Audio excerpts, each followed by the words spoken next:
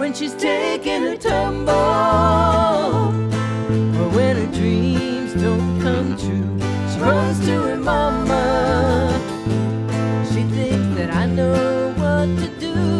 I say, hey there, honey, did you go and take a fall?